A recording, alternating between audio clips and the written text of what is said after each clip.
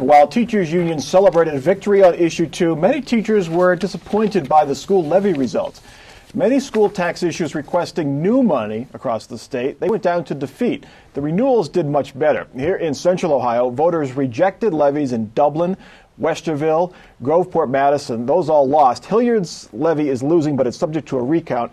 Canal Winchester was the only winner here in central Ohio. Julie Carr Smyth why the seemingly disconnect? We support the teachers and the police and firefighter, but we're not going to support new taxes. Well, for one thing, uh, Senate Bill 5 did impact teachers greatly, and a lot of their money went to win that campaign. However, you notice they were not featured in, in the campaign. Not prominently, at least. Prominently, and part of that was that they uh, are part of the the problem in terms of uh, in terms of this dialogue. Uh, they're the ones that uh, are not promoted by senior or, or, are promoted by seniority, have the step increases, have the so-called summers off, and that kind of thing. And those are, I'm just saying, talking points. Yeah. I'm not, uh, you know, you would have to debate the, but I think that people like their individual kids teacher. They know their school. They love their own school district.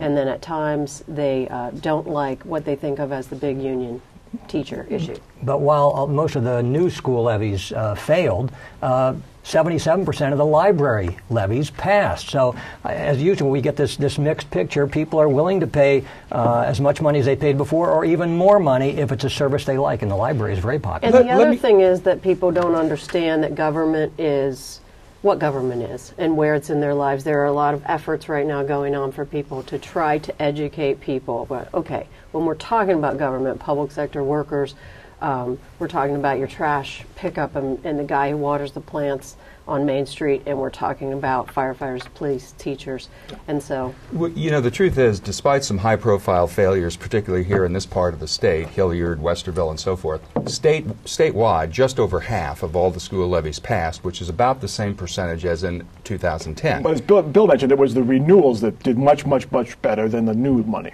But the point I'm trying to make is that if people are losing patience with having levies on the school levies on the ballot year after year after year after year, it's because the politicians are failing to do their job.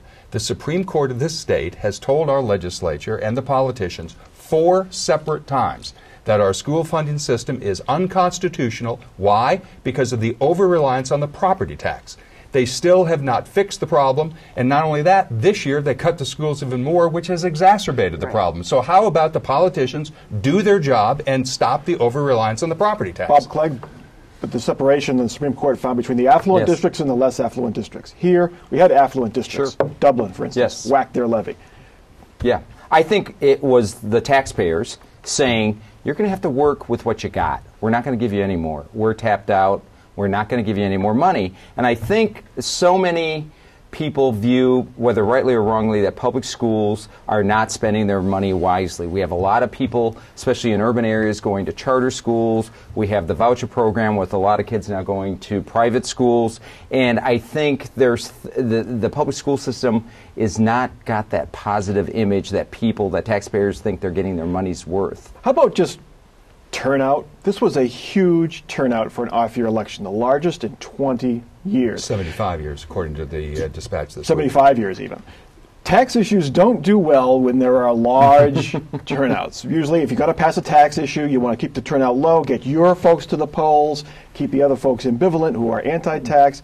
Is it just simply we had a big turnout and more anti tax people said, no, we're not going to pay more?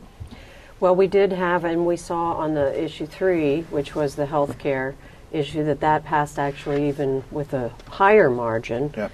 Uh, than did Senate Bill 5 or fail. Mm-hmm. And so I think that, yes, you saw that Tea Party uh, mobilization going on here, and that played a role in it as well. Okay.